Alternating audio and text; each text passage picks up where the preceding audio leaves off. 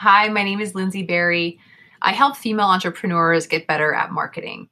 If you want to learn more about me or the Fempreneur Marketing School that I created, you can go to yycfempreneurs.com. Today's video is all about creating automated emails to go with your landing pages that you create on MailChimp. You're creating landing pages for a number of reasons. You're creating them to give away something for free to your audience, maybe a downloadable PDF, maybe it's a video some sort of a training, or maybe it's a live event that they're signing up for.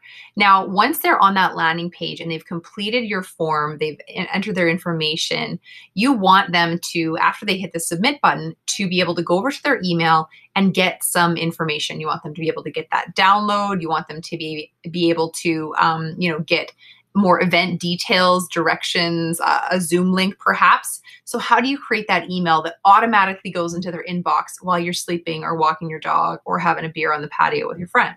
That's what I'm going to show you today. So, the first step is building that landing page. So, in MailChimp, you want to create your landing page. So, click Create here on the left and click Landing Page. We'll call this a sample landing page. We're going to send it to my fempreneur community audience.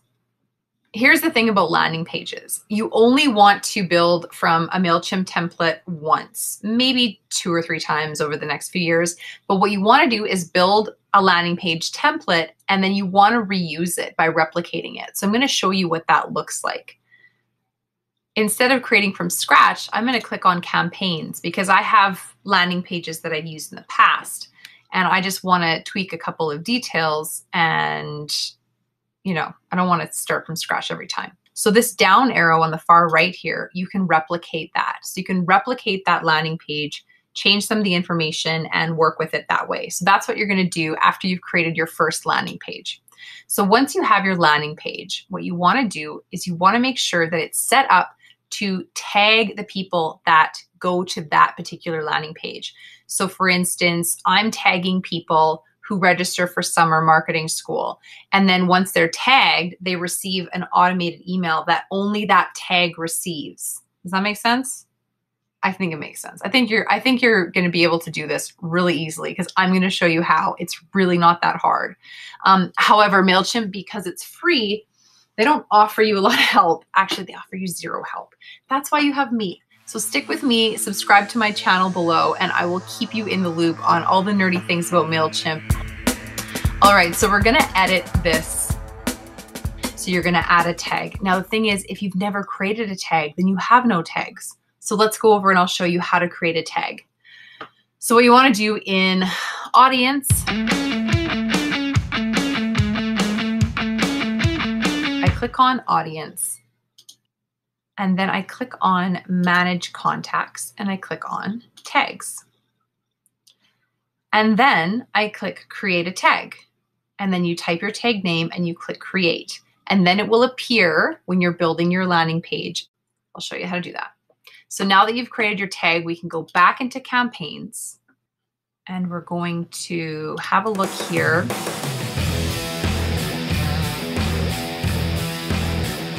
So once you've got some tags, then you can actually look at different tag options. You always want them to go to the one audience that you have, but you can add, so you could add multiple tags here. I'm just tagging these, these girls as one thing, and that is summer school registrants.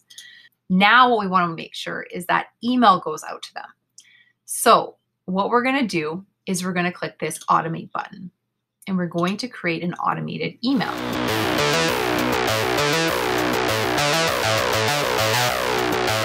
So we're going to click this here, email subscribers when they're tagged. Yes, we want them, we'll, we'll call this summer school 2020 and begin. So before we build the email, we're telling MailChimp who we want them to send this email to. So right here, trigger one day after tag is added to the contact. Please select a tag. We're going to edit that. We don't actually want it to happen one day. We want it to happen immediately after they sign up on that landing page. And the tag we're going to use is the Summer School 2020 tag. Update the trigger and you're done. Awesome. Now we just need to design the email. And I've already got a template built for this. So what I need to do is just build out this information here. All right. And now um, instead of building the email from scratch, I've got a saved template that I can use and it's right here. Fempreneur Marketing School confirmation, June 2020. All right, everything looks good. Save and continue. So we're all set. Hit the next button in the bottom right. Start sending. You're about to start a workflow which contains one email to the Fempreneur community. Start sending.